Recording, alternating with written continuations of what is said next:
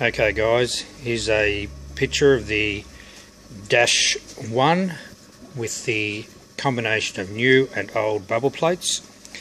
We have a look down the bottom first. You can see it's bubbling away beautifully.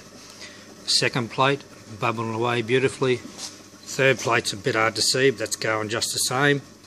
And the top plate's going the same, so it looks like they're all running full, loaded. It's currently in 100% reflux. So all I've got out so far is a little bit of the fores. Uh, they came through when I was running the machine on 3600 watts. I've now pulled the machine back and I have it running on 10 amps which is somewhere around the 2400 watt mark. Alright now as you see with this dash it's a bit of a hybrid I look all the way up here, we can tell I've got a 500 mil approximately section, uh, cooling in the bottom, heat out the top, uh, long extension all the way down till we get to the parrot.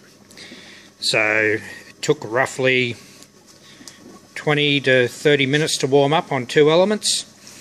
You see I've got down the bottom there, two elements, uh, like I said, 3600 watts and it was starting to power through. I haven't adjusted water, I haven't done anything else. I've just hooked it up uh, exactly as you should with Y joiners. Pretty rough because I haven't quite sorted out where my plumbing's going to go. But at the moment, the main thing is uh, all four plates are bubbling. Uh, to me, they look like they're almost bubbling exactly the same. So, uh, but I could be wrong. Okay, I think it's about time I switch her over and start collecting some product. So I'll just pause this and we'll try again. Okay guys, we're back on. Now we just got a little bit of a uh, drip happening here. This is the first uh, lot of product coming back out.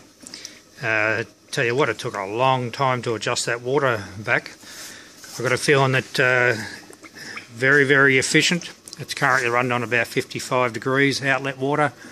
Uh, in real terms, I've got no idea what that means, but I can tell you what that uh, reflux up there took a lot of screwing back to uh, get a product to come out. So it's obviously running very efficient. Plates are still bubbling away. Uh, bottom one with the long slots. The second plate with all the long slots. Third plate, bit hard to see, but that's got the short slots.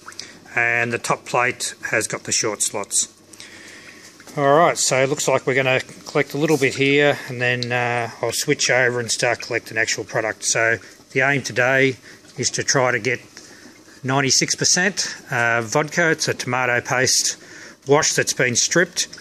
Uh, it's probably 30 litres of stripped tomato paste wash plus I did add about 10 litres of uh, unstripped just to top it up Alright, the section here you can see is about 500 mil is full of stainless steel scrubbers uh, just held in by themselves nice and tight.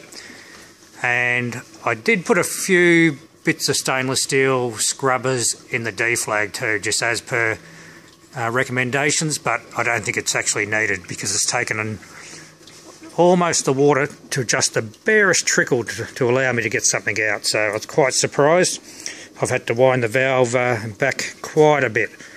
Anyway, I'll pause it again for a minute.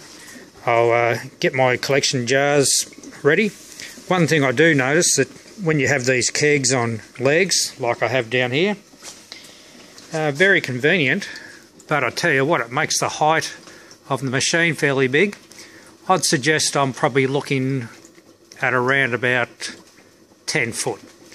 Anyway, I'll get a tape measure later and we'll, we'll measure it and sort it out.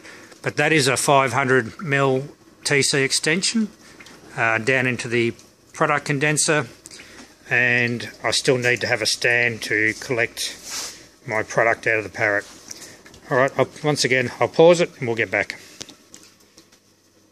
Now guys, I just measured that uh, big monstrosity. It's actually a little bit over 8 foot tall and I reckon I've got about another four and a half foot before I hit the top of the uh, shed. So I've actually got a one metre, four inch uh, section to go on top. So if this doesn't work, we'll try a one metre one later. Alright, now I've just done a bit of a swap around with jars here. First jar is obviously fores. Second jar, I'll get a few heads out and then I'll start collecting uh, product. Okay guys, uh, product's just about ready to flow again because I made some uh, you know, amateur mistakes. I did some adjusting up and down. Anyway, we're starting to get the old float and uh, hopefully we'll get some product coming out. I might actually turn this light off and see if we can get a proper fix but going on this I'd say we're right on the money for 96 I'd say perfect so another amateur mistake there put the jar underneath but of course you learn from your mistakes that's why there's actually a drip container right right on the money uh, I'll turn the light off and see if we can get a better shot. Now here we go, see if we can get a bit of focus going. Bit hard to see. That's it. Right on the money. So for me, that is absolutely perfect. All I need to do is work out how fast I can run this baby. So at the moment I'm still sitting on oh, no, 10, 11 amps. I got a feeling I can push that up a bit faster and get the product out faster. In the background there you'll see I have three 15 amp power points uh, all been wired back into a subboard.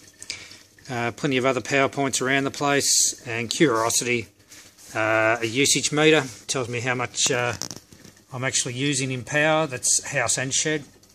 Uh, solar power which of course when we're using this and I guess I'm producing at the moment 3000 watts and I'm using 3000 watts so call it square so I'm not making any money but it's not costing me anything to run this little baby and all bubbles are going through nicely still. There you go take the light off. Bubble bubble bubble bubble bubble bubble. And bubble bubble bubble so um, temperature's 56 point something so whether that's good or bad you guys can yell out. But very happy with the uh, result. Um, I will play around see if I can screw the output a little bit and get a bit, bit more speed happening. But uh, I'll sign off. So uh, for interest 1000 litre cooling tank uh, submersible pump into a bigger hose that's a green hose you can see going around there uh, it's very, very messy at the moment because I need to replumb the whole thing. And the most annoying thing out of the lot, one connector's bloody leaking, so hence the bucket underneath. Wouldn't that give you the absolute shits? And a few fermenters going in the background, some tomato paste washers, a um, couple of whiskey washers in there. They'll be ready to run in about two weeks, I think. And that's it. I'll sign off and We'll make this about eight or nine minutes on YouTube.